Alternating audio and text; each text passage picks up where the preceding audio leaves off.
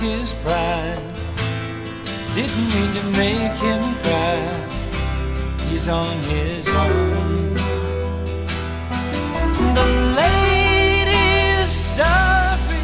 She wanted a man, not to eat from her hand, but to understand.